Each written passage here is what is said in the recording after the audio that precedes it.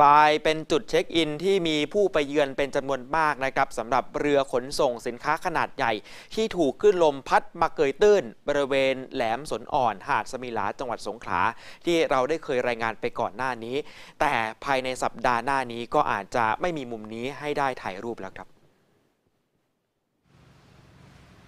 ที่เห็นตอนนี้นะครับก็คือคนงานเขากำลังระดมรถแบ็คโฮคอสั้น คอยาว 4 คัน และยังมีเรือแบ็คโฮอีก 2 ลำ ระดมขุดทรายความลึกประมาณ 4 เมตร เพื่อที่จะเปิดร่องน้ำให้เรือดูดทราย เข้าไปถึงบริเวณหัวเรือสินค้า เพื่อที่จะดูดทรายออกจากใต้ท้องเรือ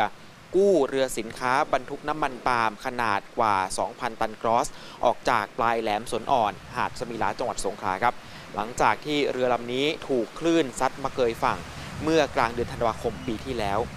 ทางผู้อำนวยการสำนักงานเจ้าท่าภูมิภาคที่ 4 บอกว่าการกู้เรือของเอกชนจะต้องปฏิบัติตามแผนที่กำหนดเอาไว้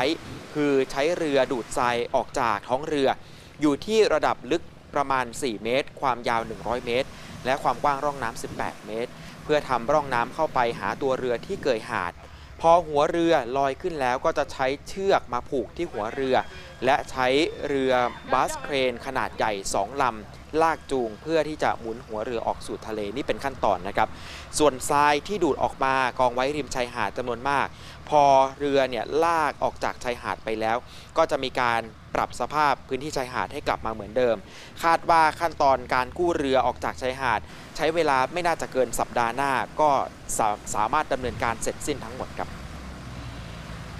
เราปลูกไว้ประมาณที่20สุดท้ายแล้วเสร็จนะครับ แล้วก็ต้องไม่มีเพราะว่า